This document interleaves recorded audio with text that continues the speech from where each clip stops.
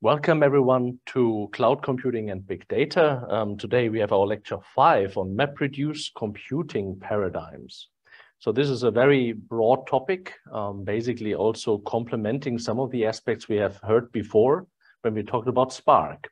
In Spark, we left out the data side a little bit, right? We were focusing on in-memory computing. That's where Spark is good.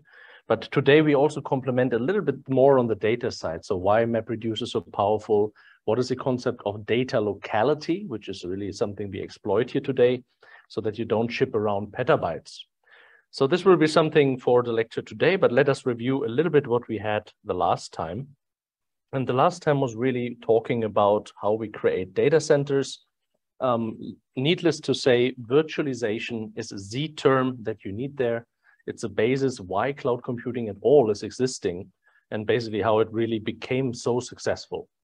And you see basically the contrast between the different two key approaches you would have these days, where you have, let's say, plain hardware. Sometimes we say bare metal hardware here, uh, where you refer to really physical hardware that existing somewhere. And then you would have a host operating system, can be Linux, can be Windows Server, Windows, whatever. And then you have your applications in that. So the concept of virtualization is basically then to introduce a so-called abstraction layer called VMM hypervisor. There are different words for it. You still, of course, have the physical hardware. It's not disappearing. You have that. But the benefit is you create so-called multiple logical or virtual hardware out of it. Of course, in the end, when you ask the guest operating system to do a storage, of course, the storage will in the end end on a physical device, right? Also for memory, you have the real memory used. But more or less, you have something where sharing is suddenly possible. And the sharing, resource sharing is one key idea that we leverage in the data center. As basically you see on a simple laptop here, we talked the last time about it. It could be that basically the host operating system is Linux, but then you put, let's say, li different Linux derivatives here, part of the virtual machines and can work with all of them Obviously, for some applications that would make sense, for instance, some coding when you're a Windows guy, but then for some coding, you rather prefer the Linux environment. That could be one example. Of course, this is a simplest way how you can look at virtualization. Now, what we're interested in in big data, and of course in our course, how we scale up, right? And scaling up was something which enables us a so-called economics of scale, very important term, economics of scale, something you need to learn by heart and will be definitively in the exam coming, right? So you have to learn that. And we have looked in several examples the last time, right? The Google data center was 11 times a soccer field. That's economics of scale. The operating cost for that running is much, much cheaper than having many, many, many different small data centers. And that has lots of um, facets to it. One is the interesting infrastructure. So you have this kind of gas for basically getting out the fires you have seen about the water cooling, whereby, of course, there could be different air coolings, water coolings, immersive cooling, as I was alluding to the last time. There are many ideas how you do it, but still the infrastructure, for instance, is of course very crucial to us. Also, you have seen basically the racks that you see here in the data center much more streamlined, pressed together. It's not like just putting a few PCs or laptops together via network. Here we have really highly organized racks. We come to this principle again later on. Now, when you would say one rack is just dedicated for Spark, another dedicated for Hadoop, another one for that application, you miss a chance of doing resource sharing, basically. So that means when someone is not using the mass Spark, all the physical cluster would essentially be idle. Idle is a very bad word in computing. We always in the centers want to have 99.9 .9 availability, usability, that's something where we never will achieve 100%. I tell, tell you also today why, because we have lots of faults. But the idea is, of course, to leverage the hardware as much as you can because it's very costly. And by allowing now this virtual clusters that you basically cover with a virtual cluster, more than one physical one, or you can at least reuse parts of the physical cluster again for another application is now the idea of this resource sharing. And virtualization makes this really nicely applicable. Here's a good example where you have then really physical clusters, which could be racks here within basically this data center as an example. But then the real way how you use it would be a virtual cluster spanning, for instance, different physical clusters, which you define of could be an Apache Spark cluster running, right? Then, of course, you would have maybe another Hadoop cluster. You would have then basically another application of sort. This is, of course, a field now where you would do highly specialized um, deployment, basically, within the physical structure. Now, virtualization, of course, um, gives you many benefits, not only, let's say, on the small laptop scale, also the data center scale. Particularly, we looked at one of the key themes, which is live migration, right? As I said earlier, we have to, and as you see basically also in the Google uh, movie last time, right? Failure is always in the hardware. Every day, 24 seven, there's always failures in all of these because you have so many million of cores right? And on top of it, it's very dense, which creates a lot, a lot of heat. And CPUs and storage here and there is quite sensitive to heat. So that means we have lots of overheating, chips break, and then they have to be exchanged. By live migrate the workload then to another part of the cluster, you basically can get rid of the faults and stay operational, which would be also reviewed today with using Hadoop and MapReduce, because it's exactly good for this kind of work. So this helps you when, let's say, one rack gets out uh, for overheating.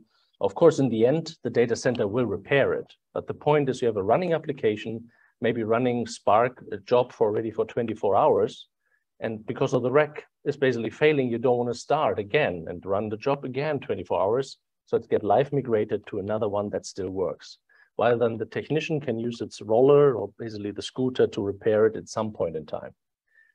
So this is something which is really the breakthrough of clouds. Um, we say also today hyperscalers, uh, basically Google, Amazon, MS Azure, all of these are called hyperscalers, mostly because they employ many, many, many soccer fields, right? of physical servers. When you look inside that, it's not at all that this is one server, right? There's very many virtualized clusters and servers that you a little bit see alluded here today. Um, finally, we of course looked on the costs. If you think about there's lots of logical hardware. Here you see the virtualization management gap, which is quite nice for us because it enables us the resource sharing. Because it's virtualized, we can always add more users, we can add more clusters. And the, when one is not needed, we can shut it down, get another one on. Of course, then the physical cluster is really utilized to almost 100%. And that is what we want to achieve. And with this, you save a lot of cost right? Otherwise, you would like pull down uh, lots of physical clusters which are never used. You lose a lot of money. We have heard from one of the students last time, you know, every five, six years in their data center, they have to renew the hardware, right? Also something to see. Um, and with this virtualization, you can uh, realize this much, much more quicker, transparent to the users. They will not even really realize that for sure. Then um, this resource sharing was one of the construct where it's here, let's say, a little bit as an example with research, with research group members here. And of course, this means this all this data center is just one part of one big node. Of course, there are many different computing centers interconnected, right? That's what you heard from Google. Also, there's just one, and when there's one big fail, there's also operational capacity to really, let's say, shift via then more storage and networking aspects to other data centers easier. And that's what Google does. And that's where Google quite good is. That's why we had also the interesting movie last time. So again, economics of scale is important, scaling up the resources, and this enables, of course, application scaling, workload scaling, lots of different scaling down the road.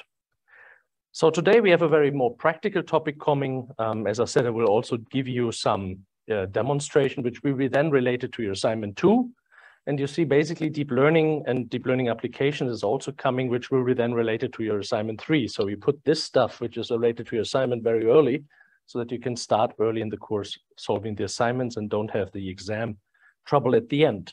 So this is very important.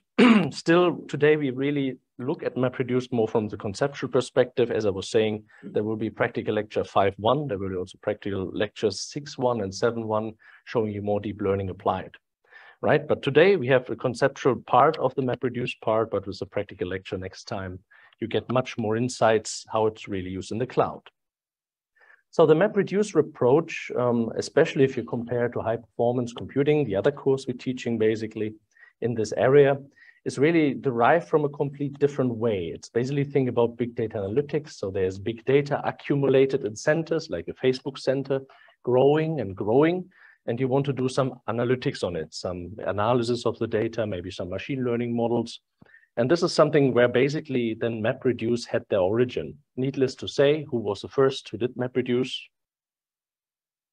Google, of course, right? When it's about big data, you see until today, Google has always nice papers of innovative material. This was 2004, so kind of 20 years ago, but still it has relevance until today, right? So many of these facets are, of course, something which Google faced the first. Today, you would say maybe even uh, Facebook and others, YouTube, but it's already a Google company. So in this sense, um, this is something where they really learned um, how to work with big data. That also doesn't mean that they do everything with MapReduce. We will see today that this is a paradigm for a couple of good things, indexing and so on.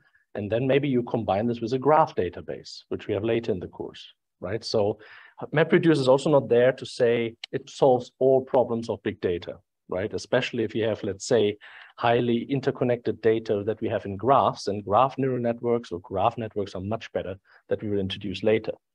So in the end, what you should also take away from this is that MapReduce is basically a wrong term that I usually teach. Um, you would say, it suggests a little bit that there's just a map and a reduce phase, which is true, but there's a very strong phase in the middle that makes it so successful called sort, shuffle, and grouping. That's also what we discussed today. So it's not really map reduce, it's called map, sort, shuffle, group, reduce. And this is an important part. So the framework helping there with a key value structure inherently in the framework is already a very big win. That is also key to understand really the MapReduce approach better. Of course, this is related to key value stores. I mean, some probably have also heard about this. NoSQL stores, maybe, have you used this? In fact, the opposite of SQL, where you basically have really things. Okay, we will have also there later on some examples and also in the practical lecture where you have just basically not a kind of column for every little basically person or so. Instead, you really have, let's say, just the content per person stored, the age, the email, and another one, you have a name and the telephone number, and you don't have this SQL-like table structure, basically. NoSQL is basically that works quite good with the key value structures from MapReduce. That's why I'm mentioning it. And of course, HBase and others are basically there that work nicely with it. Also, and when I, of course, teach that here in the cloud course, you can imagine it's deployed everywhere. Basically, you find this in Amazon. We do the examples in Amazon, but MS Azure, of course, as we have seen, has also already an idea how to do basically an MS Azure cluster deployment on Hadoop.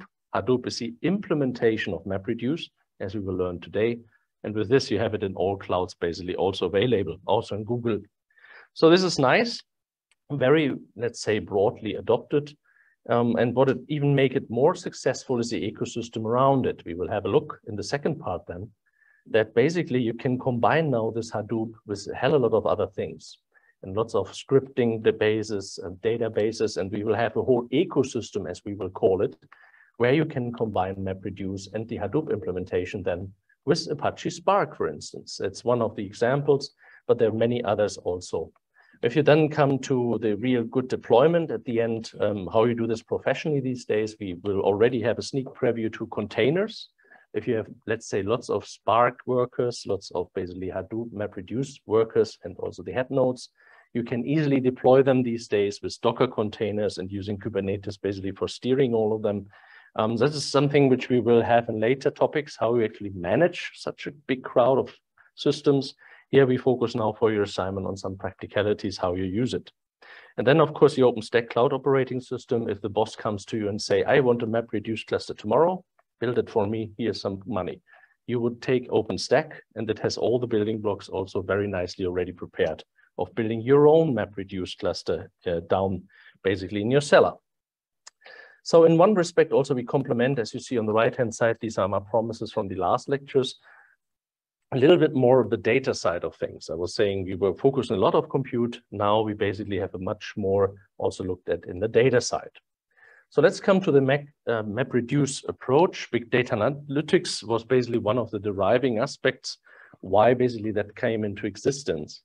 And when you think about data analytics versus data analysis, this is something where people have, let's say, always overlaps and are not completely sure. And to be honest, there's not really a very good definition differentiating both you would say you still do some data analysis um, when you do some analytics, although analytics is often more basically faster based on correlations rather than looking really very, very deep in the data. However, you would combine both when you, for instance, do a Spark cluster and then in the end, some machine learning where you have a really causality maybe behind it. Although um, it's different from physical understanding, different from really doing detailed data analysis where you have the causality. One famous example, and we have some Germans here, is Hamburg and basically the, the birds that give the babies, right? So they bring the babies. There's a highly correlation that more birds, more babies, but we also know it's actually not true, right? So they don't bring the babies.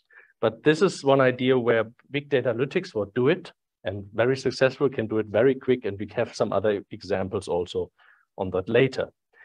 But this is different from, let's say, the things we teach in high performance computing. So it's not coming from the community doing weather forecast, doing, you know, disaster control and, and many of these, let's say, physical simulations based on known, um, you know, physical laws, numerical methods, which is really highly intertwined and requires high performance computing. Here we think a little rather lots of data exists. And that brings us also to the overlap with machine learning. But, but basically here, data is the main paradigm. So we have a lot of data. You can imagine when you have already Google as an example, I know still Google from the beta time was already then very good search engine. And of course, you think about they sitting on data and it's just growing, a pot of data with all the web links, all the web links. We had the PageRank as an example, but basically the web is growing, the content is growing, and this is what you do as Google, then you want to work on the data. Needless to say, we have also seen basically some of the aspects are not so highly intertwined. You do weather forecast and you do it here around basically our area in 101, it has natural effect on 102, 103, 104 here in Reykjavik, right? Because it's very close to each other. Here, here some parts of the web which actually are not connected. So you can nicely deparallelize this basically and can do this in a high throughput fashion. And this is the idea then where basically this kind of algorithms come into play with MapReduce um, which is derived from something called divide and conquer that many from you already know perhaps. Who knows divide and conquer? It's 101 computer science. Almost all should raise their hand or we have to change something in HOE here. So that's really a, a key paradigm. Um, in order to do so, as I said, also there was an idea that maybe then always it needs to be not cutting edge computing, right? When you talk here about high performance computers that you see here, the supercomputers, they have one thing in common, and this is a highly per performant interconnect kind of InfiniBands, for instance. And that makes it very, very costly. This is required for weather forecast because the core should all contact each other, should all talk to each other very much, right? So it's a very costly interconnect while basically many of the clouds rather use, let's say, um, off-the-shelf components that you see a little bit here. Here, sometimes the idea is not just using InfiniBand or very specialized interconnects, rather just basically Ethernet, which is still good for many applications, right? InfiniBand is just extremely, extremely good. But there you go and would pay the price for it from the supercomputers today, you would say one third as a rule of thumb again is again the network cost. It's not the cores, not the GPUs.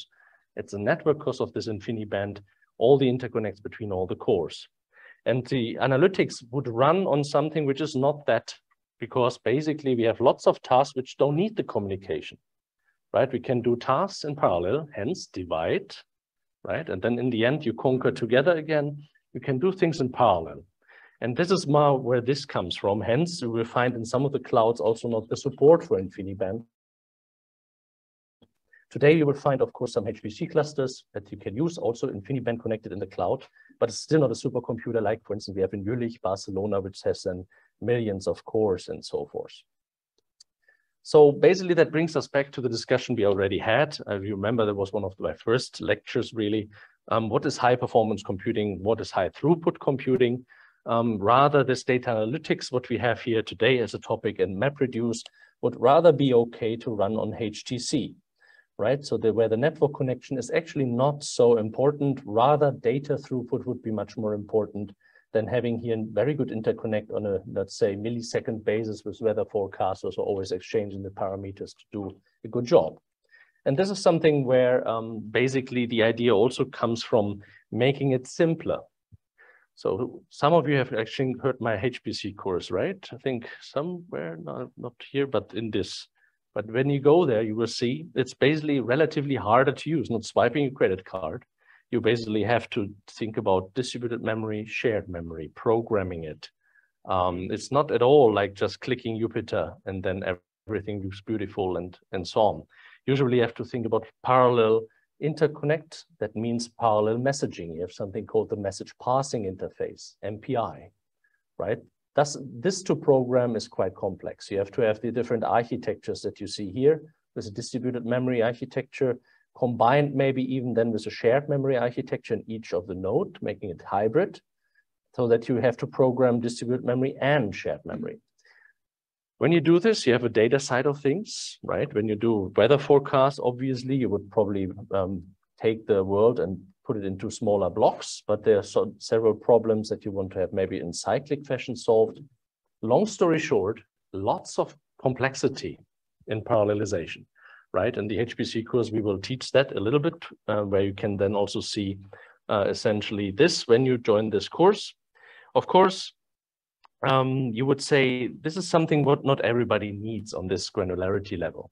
So you would also say um, you have something like scientists that just want to use it, users that don't want to have all of this tough complexity, right? So what about those that want to have just analyze data basically and keep it relatively small and stupid and easy to use?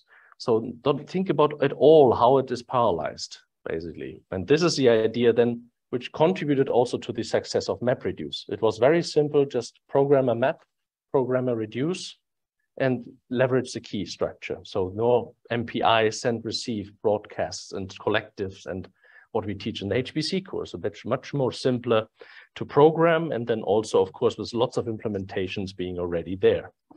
Um, implemented in that, the basically cloud systems were growing a lot with this, as I said to you also, the failures were growing significantly, right? Having now 11 um, soccer field HP uh, system basically from the Google data center means failure all along the way. And even here in our supercomputer, you see a little bit how much we have here roughly in cores and basically in, in terms of um, nodes, right? When you multiply this, also here, it's a relatively for science standards good system, but for Google data centers, of course, in a way, a smaller system, but also there already hardware fails constantly. So to mitigate this, the idea was to deal with failures along the way. And that's what MapReduce also was basically uh, making it so successful. It had a high resiliency. So when you do now an MPI job on a supercomputer with weather forecast, one thing fails, one core is overheated, you have to start the whole weather forecast from scratch again. And those sometimes run over three, four days, right? So you lose all the computing time you're done. So the idea was working on data then was of course much more flexible. When something breaks, you just look again on the data. Even if others have proceeded, you don't care because it's embarrassingly parallel as we call, right? You can process data in parallel. You may be interested in a summary statistics in the end about everything, right? But this is something where maybe you can have much more resiliency, which was then feeding into MapReduce as well. So this was really something which uh, are all the key ingredients, how MapReduce, the idea was grown basically by Google to actually do this. And then along the way, we had also the idea, of course, that this data was always growing and it became incapable of just sending it around, right? We had bought just a newly another 20 petabytes because we just almost cope not anymore with the growing of data. The same for Google now getting the Google Tender sent to HPC machine for doing some data analysis and back is infeasible, basically, right? It's too much. You probably put all on storage and put it in a truck. The bandwidth would be much better for petabytes of data. Hence, the idea in MapReduce was also having something like data locality, having smaller jobs, hence map jobs and reduce jobs rather bring to the data, operated there in small scale, and then go away again for the basically conquer step, right? And basically this was another part of it. So it's also different how MPI operates. You ship the whole data there, you work on it, and then basically ship the data back, right? Complete different philosophy. And of course, this was more needed as Facebook and others are actually significantly growing. So that brings us to Hadoop, now basically to a bit more constant thinking what now MapReduce is, uh, implementations in Spark as well, but here we focus a bit on Hadoop, which was the first real implementation of MapReduce. And the beautiful aspect of it is, it is um, essentially an open source tool that everybody can use, adopt for the company. And that is what people have done. They have created a huge ecosystem around Hadoop. We will look in the second course hours later, which again is another success factor of Hadoop. And today, many of these actually transform to Hadoop. As you know, still Hadoop is feasible because if you don't have the hardware with all the different gigabytes of memory to employ, which can be costly in Apache Spark, then basically you have not really the performance that you see here, where then basically Spark outperforms Hadoop significantly, because in the end, this is also largely drawn from in-memory. And if you don't have in-memory resources, Hadoop might be still a very good candidate for you, right? So basically both are data analytics processing engines. Both are really relevant today. You have seen in MS Azure on one of my slides, I could create a Spark cluster or Hadoop cluster or several others. And these are basically the two main ones that you would think of today. So how it looks like, right? So MapReduce now should be something we look a bit more in detail. As I said, I give you more illustrative examples also as part of practical lecture 5.1. But in a way, it's very simple. You have input chunks of data, right? Think about lots of piles of data that you can process individually. So you don't have to process them, let's say with some interconnect, you don't have to know what's happening in the other jobs. You just have this map phase where you want to do something. And then you have an intermediate results. You mapped a certain intermediate results to some key value pairs. And they reorganizing this and grouping it by pairs in order to perform the reduce task. So it's a basically a two kind of function set but as I told you, the middle should be not underestimated. The middle, I mean here, the sorting, shuffle, and grouping by keys. This is something what the Hadoop framework already implemented. So all of that is taken away from you. Also, the interconnect here to the map task is taken away from you. Basically, it's also not something which you have to explicitly program, which helps us, of course, also a lot. It's also based on Java a lot. And as I said earlier, it's derived from the problem, worker, worker, result. In the other words, divide and conquer philosophy. You partition a problem very, very many and small, and then you combine it again back to a result.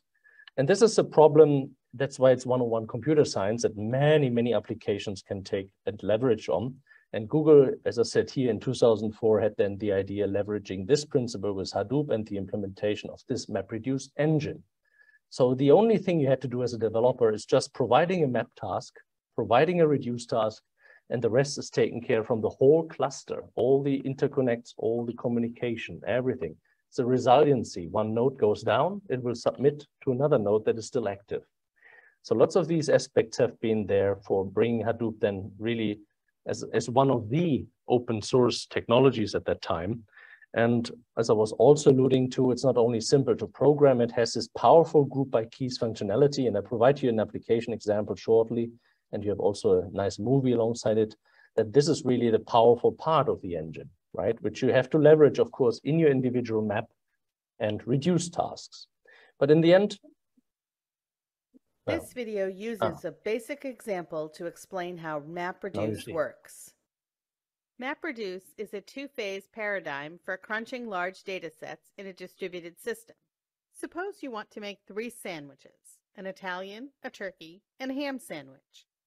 A list of the ingredients needed for each sandwich is gathered during the map phase, and the total amount for each ingredient is determined during the reduce phase. The database contains a JSON document for each sandwich that defines the ingredients for that sandwich. You want to build an index that emits the ingredient and its value for each document, and use sum for the reduce. Here you can see the documents in the database listing the ingredients for each sandwich. Next, you can query this index to see the amount of each individual ingredient for each sandwich. And then query the index to determine how much of each ingredient you need to make the three sandwiches. Visit the Cloud Learning Center at ibm.biz yeah, slash. It's a very funny video in the context. So in the end, you have seen it breaks down into smaller chunks. What is the, basically the bread is all about, salami and so on. Of course, there are different examples that you can think about. And one of the most famous is word count think about lots of lots of documents and you want to just count the number of words. And this is the idea where you basically have as a key of obviously the word key, right? So which word it is. And as a map task, it's very simple to make it fast, right? You want to do it fast. At the data, you just always increase by one, right? I found the I found the word, I found the word one, one, one. As it is a key structure, you always add just, okay, another word found, another word found, another word found, this one, this one, this one.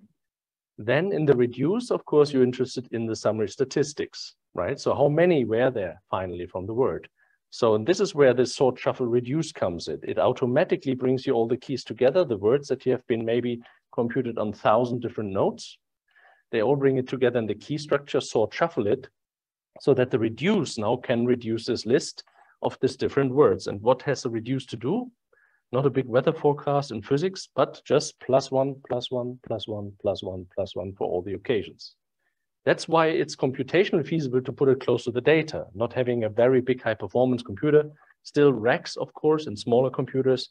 And that what, what was making it feasible. Another view to see that is essentially this one, where you have here a good example, again, of this word count, where you get some stream maybe from Twitter in, you break, of course, this into different pieces, all the different strings, and, and you have lots of parallel map tasks that never communicate with each other. They don't care. I found foo, one, car, one, bar, one, whatever. They find in terms once, their simple task is just adding a one to a kind of index structure. With the key, of course, is important here, the word. Then, as I said, sort, shuffle, group, very important for MapReduce, right? Although you just program this and this, the key structure will be then aggregated and this communication you don't care of, you don't have to program. Also, this is completely done by the MapReduce engine and you basically have then this kind of index put together based on your smart key. And what reduce just has to do is, again, computational simple, add up all of those basically together. In high performance computing, you would actually program that explicitly and having a or reduced with some operator, etc., having the coarse address that you want to use. Here, the framework does basically everything for you. And things we already discussed, of course, you need a cluster with scheduling. You need basically the idea of really deploying that at scale, where some scheduler comes in that we already discussed, basically this um, Yarn cluster that is available. And you see here some application examples. More will come in practical lecture 5.1 and also basically lecture 14 later. But you see here one example that Facebook uses it just for building an index in parallel, but uses many other databases right? But of course, for this, it's nicely scalable. And we come back to this example again and again over time. So also there, think about it that of course, Facebook is not only using MapReduce, but also MapReduce for certain things. Just a summarizing one um, video that I found useful because also basically has Spark in the game, because now you're confused why he's talking about Spark, suddenly about Hadoop. Just a short video before we close uh, with the first course hours. Companies are looking to extract more value from their data, but struggle to capture, store, and analyze all the data generated today. Data is growing exponentially, coming from new sources, is increasingly diverse, and needs to be securely accessed to be analyzed by different applications and lines of business. AWS can solve these challenges. Customers can put all of their data in a data lake and analyze it with their choice of open source distributed processing frameworks like Apache Spark and Hadoop. By far, the most popular storage infrastructure for a data lake is Amazon S3. However, customers have found operating Spark and Hadoop difficult, expensive, and time consuming. Traditionally, you had to purchase and integrate the hardware and install and manage the software, including constant upgrades. Various lines of business would often timeshare centralized cluster resources leading to underutilization during idle periods and missed SLA during peak. As your data grows, the size of your infrastructure constantly grows. Because storage and compute are tied together, increasing storage means scaling expensive compute requirements. Amazon EMR makes deploying Spark and Hadoop easy and cost-effective, and decouples compute and storage, allowing both of them to grow independently, leading to better resource utilization. EMR allows you to store data in Amazon S3 and run compute as you need to process that data. You can launch an EMR cluster in minutes. You don't need to worry about node provisioning, cluster setup, Hadoop configuration, or cluster tuning. Once the processing is over, you can switch off your clusters. You can automatically resize clusters to accommodate peaks and scale them down without impacting your Amazon S3 data lake storage. You can also run multiple clusters in parallel, allowing each of them to share the same dataset. Managing Spark and Hadoop is also easy with EMR. It monitors your cluster, retrying failed tasks and automatically replacing poorly performing instances. Using Amazon CloudWatch, you can collect and track metrics, logs, and audits, set alarms, and automatically react to changes. Finally, Amazon EMR makes deploying Spark and Hadoop cost effective. You pay a per second rate only for the cluster resources you use. Customer support is available 24 7 on your normal AWS support bill at a fraction of what other commercial Spark and Hadoop vendors would charge. With spot pricing, you can lower your bill up to 90%. IDC recently found the ROI of EMR versus on premises is 342% over five years. It's no wonder why there are more customers migrating their on premises Hadoop and Spark deployments to Amazon EMR than ever before. Try Amazon EMR today. It's the fastest, easiest, and most cost effective way to get started with Spark and Hadoop. All right. Okay. So, you know, already I'm not paid from Amazon, as you know, but they have very nice videos. We break here for 10 minutes. Thank you.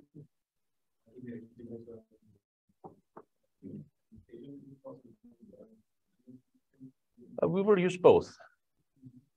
It's basically just to have you exposed to different infrastructures. But good question. Um, just like MS Azure is quite nice with the integration of Jupyter notebooks for the Spark deployment, it had a good template mechanism. That's why I preferred that for this, but basically you can do the same with EMR, essentially, that you do for their InDesign. But good question.